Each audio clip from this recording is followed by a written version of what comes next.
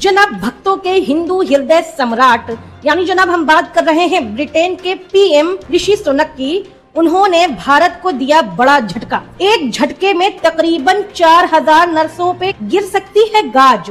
दरअसल जनाब बोरिया बिस्तर बांधकर 4000 नर्सें जो ब्रिटेन में इस वक्त नौकरी कर रही हैं, उनको एक झटके में ब्रिटेन छोड़ना पड़ सकता है। हमला कुछ यूँ है कि भक्तों के हिंदू हृदय सम्राट ऋषि सोनक ने दो सौ अड़सठ कंपनियों को लाइसेंस दिया था कि जनाब विदेशियों को नौकरी पर रख सकते हैं। इन लाइसेंस प्राप्त करने वाली कंपनियों ने मोटी रकम लेकर वीज़ा स्पॉन्सर किया और तो और जनाब, इन वीजों के द्वारा तकरीबन भारत की 4000 हज़ार नर्सें इस वक्त ब्रिटेन में कार्यरत है। लेकिन जनाब, दैनिक भास्कर के रिपोर्ट के मुताबिक इस वक्त ब्रिटेन में जाँच चल रही है।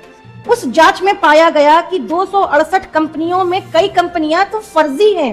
इन फर्जी कंपनियों ने भारतीय नर्सों से मोटी रकम लेकर इनको वीज़ा स्पॉन्सर किया जिसके बाद जनाब इन फर्जी कंपनियों पर ऋषि सोनक सरकार ने कार्यवाही शुरू कर दी है अब जनाब इन फर्जी कंपनियों पर कार्यवाही उस वक्त हो रही है जिस वक्त इन फर्जी कंपनियों के द्वारा चार हज़ार नर्सें ब्रिटेन में जाबसी हैं, वहाँ पर नौकरी कर रही हैं, रह रही हैं, खा रही हैं।